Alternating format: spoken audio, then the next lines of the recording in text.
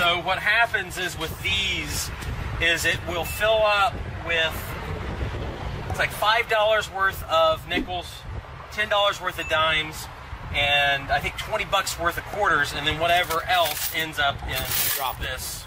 It ends up dropping in this. So whatever the count is on top of that, we also have to add an extra 35 bucks to. Since it's full and these are just extra pieces of money that came into it.